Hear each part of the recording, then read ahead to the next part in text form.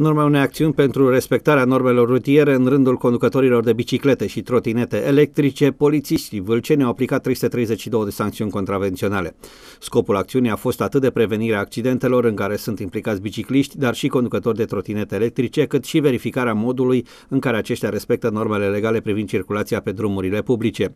La finalul acțiunii derulate au fost amendați 143 de bicicliști și 12 conducători de trotinete electrice, fie pentru încălcarea normelor privind circulația circulația pe drumurile publice, fie pentru echiparea necorespunzătoare a bicicletelor sau a vehiculelor conduse, dar și pentru alte abateri rutiere.